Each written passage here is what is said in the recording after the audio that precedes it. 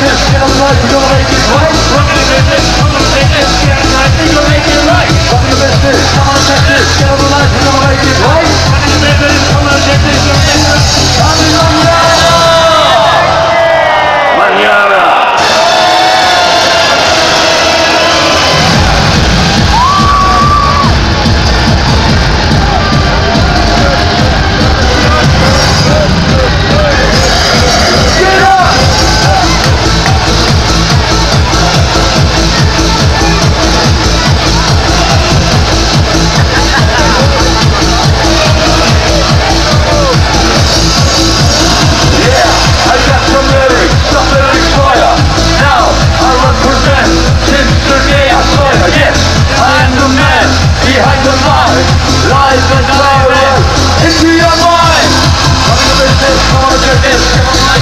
This is